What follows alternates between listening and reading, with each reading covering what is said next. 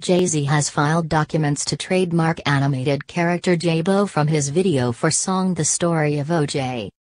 The hip-hop star, real name Sean Carter, worked with director Mark Romanek via Anonymous Content, and multimedia agency The Mill, to create the award-winning animated music video.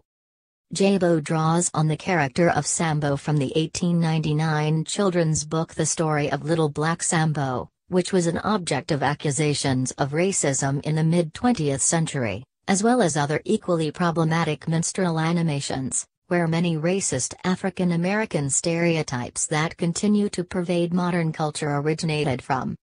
Jay's critically acclaimed clip samples Nina Simone singing, My Skin is Black, and also features the 48-year-old rapping as images of cotton fields, burning crosses, slave ships and lynchings appear on screen.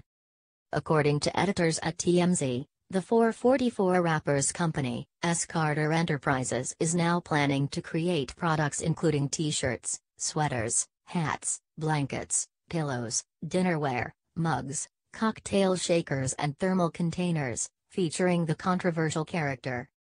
Previously, Jay explained that the track was about the nature of success and seeing the bigger picture. The story of OJ is really a song about we as a culture, having a plan, how we're gonna push this forward, sick, the rapper explained in an interview on iHeartRadio last year, 17. We all make money, and then we all lose money, as artists especially.